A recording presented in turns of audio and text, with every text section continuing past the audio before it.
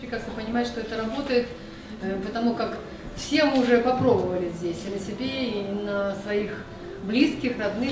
И, главное, что действительно вот очень часто люди, которые приходят с хроникой, они ждут какой-то фантастики. Вот действительно фантастику можно получить от чего-то острого. Вот это будет фантастика, когда гриппозное состояние проходит за сутки, ну, может, какое-то осложнение бывает, там, покашляет или еще что-нибудь такое, и герпес очень быстро выходит, то это видно, да, то есть когда не болит, не чешется.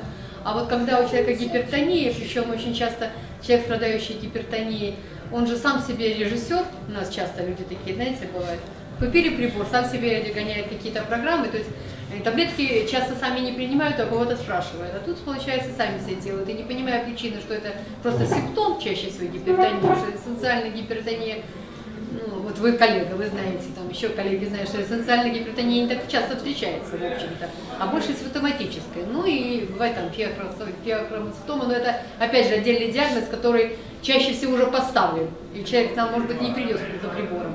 А вот когда у человека гипертония, он не вникает в это, он сам себе то понижает, то повышает, и потом говорит, что приборы не работают. Вот действительно самое правильное это все-таки прийти к доктору.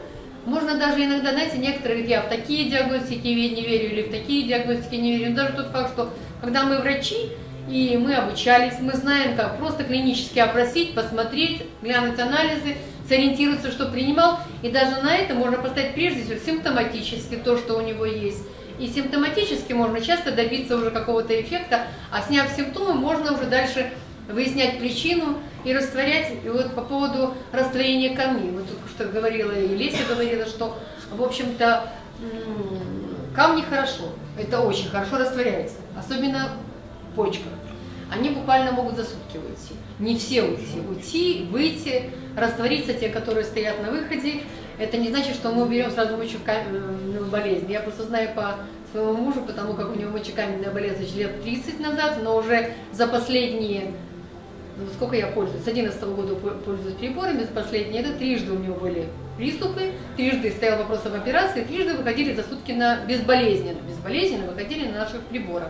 Но опять же, когда человеку объясняешь, что есть хроническое заболевание, которое надо делать то-то, то-то, надо делать зачелачивание, надо менять что-то, очень часто Э, добившись какого-то результата, вот быстрого результата, больные вообще забывают про прибор. Мы, допустим, есть у каждого у нас какие-то проблемы. Я ношу, но если надо для того, чтобы добиться какого-то результата, необходимо хотя бы, наверное, месяц, полтора-два походить с этой программой. То есть дополнительно что-то еще делать. А у нас так тым, тым, тым сами делают. Я просто вот расскажу случай наш одесский, когда у человека, допустим, есть много папиллом. У нас одна такая уже очень возрастная дама, Должна была ехать на 40-летие окончания своего института в Санкт-Петербург, но, естественно, в летний период, потому что все собирается летом, а у нее папилломатоз, ну и там все, что хотите. Она себе как включила программы, и у нее началось, мало того, что у нее такое появилось, знаете, вот как будто у нее псориаз, но не псориаз, а просто именно обострение. Она ходила, чесалась, а лето, потеет. Это был какой-то ужас. И получается, кто виноват? Прибор? Она не медик, она сама себе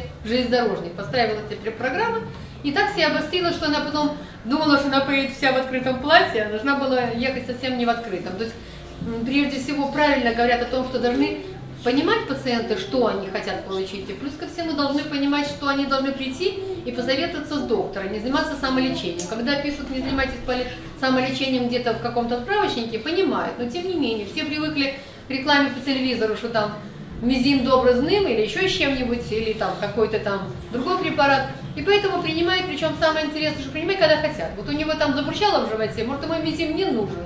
Ему нужен просто уголь активированный. В общем, ну что-то такое, да, если попроще. Но он мизин примет или еще что такое, и принимает постоянно, не понимая, что любое медикаментозное лечение имеет побочный эффект, это раз, а во-вторых, тут у нас мы без побочных эффектов лечим.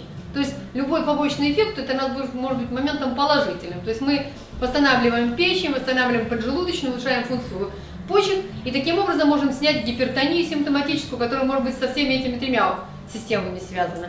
А когда мы начинаем что-то купировать и медикаментозно очень быстро, то заканчивается тем, что, к сожалению, доводятся до сами себе до коллаптоидного состояния. Вот у меня была одна пациентка, у которой ничего не снималось ничем, и потом она вдруг решила принять адельфан.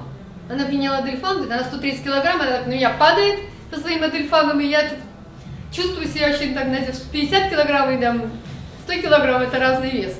Вот и она говорит, ну я не знала, что так может быть. То есть получается, что человек, не зная причины, а у нее, оказывается, как выяснилось потом, то есть эндокринного плана нарушение было, ничего не снимала, ей капали, вот по-женски лечили, капали на глюкозе кучу всего, ее вот так вот растащило, и потом это давление появилось. Поэтому прежде всего любой доктор докопается сначала до причины появления симптоматики, и потом постепенно должен объяснить, что в любом случае, наверное, медленно, когда пришли к какому-то заболеванию долго, то, наверное, медленно будем от него выходить, но качество жизни в любой ситуации будем улучшать. Поэтому я так считаю, что в любом случае человек должен советоваться, но сам делать выбор покупки прибора и понимать, что нет, э, наверное, в общем-то, панацеи нет ни в чем, и нельзя бросить одно и перейти сразу на другое, что тоже, опять же вот очень часто люди, страдающие сахарным диабетом, они очень часто, когда им кто-то посоветует, что это может их увести от инсулина, они могут бросить инсулин и начать что-нибудь делать, попадают в больницу, и потом говорят, что доктор, который вот занимался этим, этим, этим, он идиот полный, он это посоветовал, и вот пациента довели до состояния комы там даже. Гипер или гипо это уже другой вопрос. Ну, никто не считает, что, в общем-то, не очень умно поступил сам пациент не посоветовавшись не сделав какие-то контрольные анализы.